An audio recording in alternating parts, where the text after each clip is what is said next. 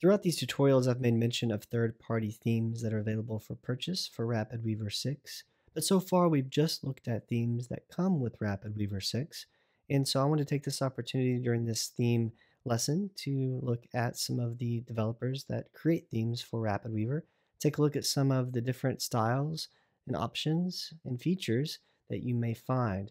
And really, honestly, you're doing yourself a disservice by not at least looking at some of the third party themes that are available because there are many, many great, impressive, creative themes that can really do all kinds of things and really create a unique look for your project.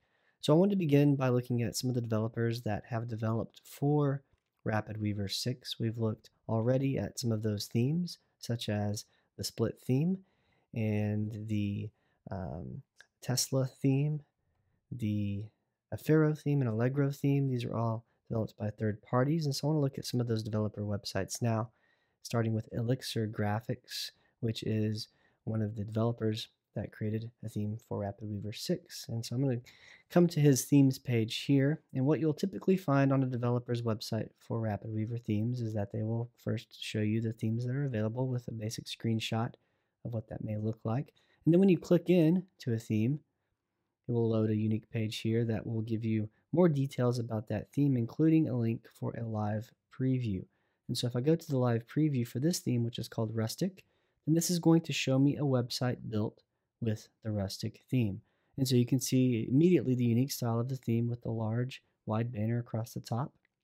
We have navigation here with drop down menus. We have social icons that are available to be used in this theme right here in this spot. We can see where the title and the slogan are located, and that a logo would go up here at the top. And then we can see the container for the content that sits in this space, this white space down the middle. So it's a very nice looking theme, very clean and very open. And as you go through the different types of pages, you can, for example, see what a blog would look like. And so we can look at a blog page that is built for this theme. And so we have the blog uh, post here on the left, and we have our sidebar on the right, along with our categories and our archives and tags like we discussed in the blog tutorial. And so for the most part, as you go through the different developers um, previews, you will find most of the types of pages that are available with RapidWeaver to see options and examples of those styles. So let's close that out. Let's take a look at one other one from Elixir. Let's go to the abstract theme and we will preview this as well. And what I want to point out in this theme is something called extra content. I mentioned it in the first tutorial in this lesson, and I want to expand a bit on that by showing you some examples of extra content here in this.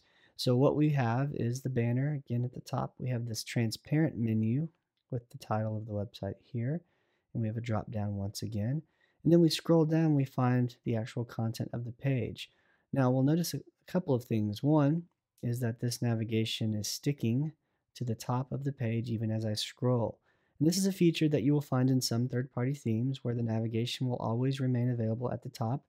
It's a lot of times referred to as sticky navigation. It's very helpful for allowing um, visitors to have access to navigation at all times. And so I really like that personally, and it just kind of sits here transparent and hovers above the content. Speaking of the content, our content begins here, but you'll notice that it kind of sits in its own unique area in this dark section opposed to the main content which displays here below in the white. And then if we scroll down, we see a separator and what looks like kind of a separate content area down here. Even though it's white in the background, it's separated visually from this content here. So what we have are extra content areas. This white space right here is what you would consider the main content area for the website. This is where you would put in your content. It would show up in the white space here. But this theme includes other content areas called extra content areas. One of those is here in the dark area, and the other one is here at the bottom in this section. Extra content areas are developed uniquely to each theme, and so they're going to look different from one theme to the next. Perhaps for this theme, um, we have the dark bar, but maybe in another theme, it is um, it uses a different background, or maybe it's even in a different place. Um, so from one theme to the next, extra content spaces may look different just to provide a different feel and a different style for the page. If we go to the Options button in the menu, typically a developer's website will include a list of all of the options that are available for the theme. And so, like, for example, I mentioned the sticky navigation right here. It talks about the sticky navigation and how that is available with this theme. And then next we see an, um, an item called extra space. And so this refers to the extra content. And this mentions that there's four different extra content areas available for this theme. And so we can find all of the options available in the styles of the theme in the listing here, such as heights of banners and site title font styles, color picker options of all kinds, and so as you visit the preview sites for each of these themes, you can get different ideas of what's available. So that's a couple from Elixir Graphics. Let's take a look at Nick Cates' design. Nick Cates also developed a theme for RapidWeaver 6, and you can see he has a lot of themes to offer here. Let's preview this one called Iris. This is his latest at the time of this recording. Nick Cates is very unique in his style, and you can find this theme preview with a lot of different um, thumbnails or images that show different styles for this theme. So let's go to layouts and come down to the focus layout. So this is going to look quite different than what we just looked at. This is the exact same theme, but it's very different. And it includes this big scrolling area for images. For more advanced features, more unique features such as this, the theme developer would typically provide documentation that would walk you through how to set up your theme to do this kind of um, functionality. And so that documentation would typically be provided by the developer so that you know how to use it. From one theme to the next, as you can see, they can look very different in style. This is a blog with massive photos and text. We can go to different gallery types to see examples of how these can be presented differently from one page to the next. And so uh, hopefully you can see that there are very, very unique themes that really provide um, different styles for very unique kinds of websites. So this can be great for a photo gallery or an artist website, for example. Maybe it doesn't work so well for a more normal business website, but there is a ton of flexibility between developers and styles of themes from one to the next. This is Brandon Lee Themes, bltthemes.com. He also developed a website or a theme for RapidWeaver 6. And this um, has more clean, white space, open look to the themes. Um, these could be used for business websites, for example. This has the sticky navigation here at the top. And you can see some examples of how content could be laid out. And I mentioned documentation or tutorials for working with themes. Brandon Lee has those directly through the menu of each um, project that he shows. If I come down to this one, EC areas, that's extra content areas. And so this page actually shows us where those extra content areas are located. So immediately below the banner, we find this one, which has kind of a different background behind it. If we scroll down, we find the main one, which is in white. If we continue down, we find another one, which is a lighter gray once again. And then the very bottom has a very dark one. And so you can see those kind of visually separated content containers that are created with extra content. And that's a feature of themes.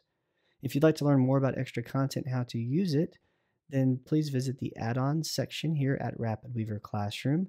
I have a section for themes there where I discuss extra content in detail and show you how to use extra content. And for that matter, I've got a lot of other tutorials related to themes. I go into more depth in theme selection, we look at extra content as mentioned. And we also look at some other items such as how to change out the banner images that are available with themes. And so I look at quite a few different options for changing out the banner and also how to use these slideshows that are available in some themes as well. And so you'll find a lot of other content about working with themes underneath the add-ons area in the themes section here at RapidWeaver Classroom. And before I wrap up this tutorial, I do want to mention one other type of theme that is available, and that is what is essentially called a blank theme. If you have the desire to design and develop the complete look and feel, all of the layout of a website yourself, then you can use a blank theme. And there are several available for RapidWeaver. One of those is called Foundation, which we're looking at here. This is a blank theme that is based on the Stacks plugin. So you must use the Stacks plugin, purchase and add that to RapidWeaver and then use Stacks along with Foundation here to build and lay out a complete website from, from the ground up. So you start with a blank slate and build your own layout. And so even that is something that is available to be done with RapidWeaver. I have an entire series of tutorials on the Foundation theme. In that same section I mentioned just a minute ago, under add-ons and themes, you'll find a long series of tutorials on using Foundation along with Stacks to build a layout yourself. So if you don't want to be constrained by any particular theme, or if you just can't find exactly what you want, and if you would like to jump into building a layout all on your own, then you can do that with something like Foundation. So hopefully just looking through some of these websites gives you examples of the vast array of themes available, the different styles, the different um, options, and different features available. And so, like I said, please visit the add-ons area under themes to learn even more um, details about a lot of different items when it comes to working with themes.